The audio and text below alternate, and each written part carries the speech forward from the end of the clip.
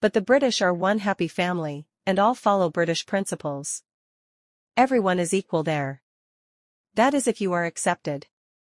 I met an Englishman who has been living in the UK for more than 30 years, with his Indian wife, who comes from a poor family in India, and lacks formal education.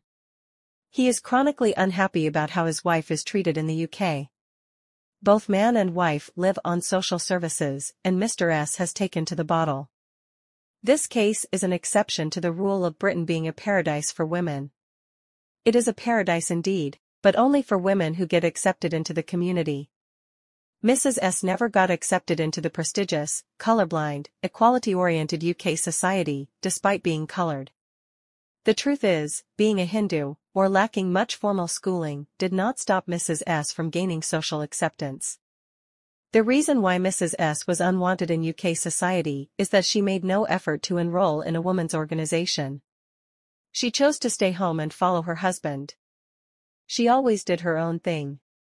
Bago Pleto is a natural trait in women, and if you have that, you will be inducted naturally, you will be invited into a woman's organization. Hindu and white women stigmatize my wife, said Mr. S.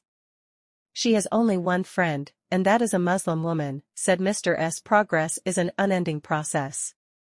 People who are not satisfied are either eliminated, or efforts are made to get them satisfied. Because human nature is selfish, disgruntled people who are given satisfaction by the state are not going to care for those who have been left behind. Those who have been left behind have nobody to care for them may die, unknown, undocumented.